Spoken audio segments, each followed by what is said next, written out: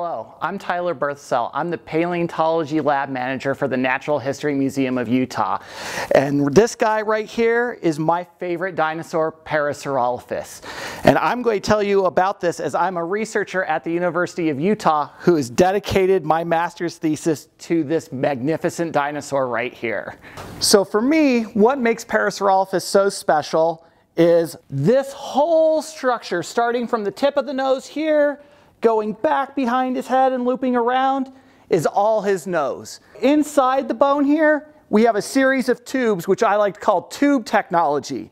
So you have the nostrils that start right here, and it goes up through a series of tubes all along the top of the crest here internally, hits the back right here, loops around, goes to about right here, and then it loops back around again to about midline in the crest, goes back through another set of tubes internally before it meets right back up at the beginning where it starts to go down to the windpipe, down the neck to the lungs. If you were to stack out the whole skeleton on this guy, he'd be about 40 feet long. He'd stand about 10 to 12 feet tall at the hips and probably weigh somewhere in that four to seven ton range what is Parasaurolophus doing with this complex series of tubes in his nose? The two leading hypotheses are that this is used as a resonance chamber with all those empty tubes in there that it's resonating at different frequencies almost like a a trumpet or another wind instrument along that way. So if you have air passing through and resonating all those chambers, you'll get different sounds. And paleontologists have run air through models of these guys to produce different sounds that we think this dinosaur may have sounded like. Is if we look at CT scans right where their ear should be and into their brain case, their brains and their hearing canal is highly modified for to pick up low sounds, which is what the type of sounds that this crest would produce.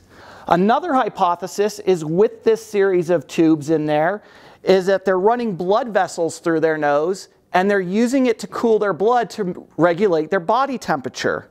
We see certain modern day animals in the African Sahara that have modifications in their nose that do this as well, so that's another possibility. Another hypothesis that has been on the outskirts is that this whole nose system was used for smell. Again, we look at those same scans of the brain and where the nasal bulb would be right about here, and that suggests that smell wasn't a big deal for this dinosaur. So dedicating this whole structure to the sense of smell is probably not a good hypothesis for us.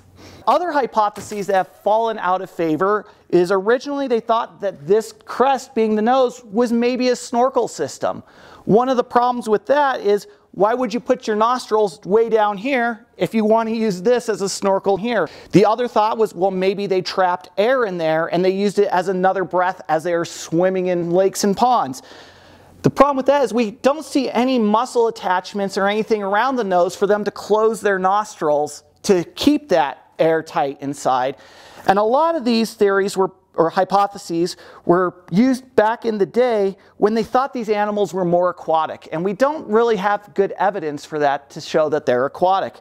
Another hypothesis that's a little more far-fetched is that since they have tubes on both sides, the left and right of their skull, is that maybe these were mixing chambers for volatile chemicals, and then when both chemicals met at the tip of the nose, they breathed fire, similar to something like bombardier beetles.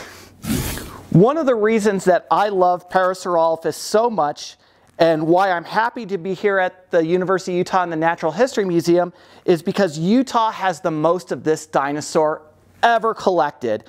Outside of Utah, there's seven known specimens of Parasaurolophus, and here in Utah, we're up to number 19. And I'm very lucky with all these skulls to start testing some of these hypotheses.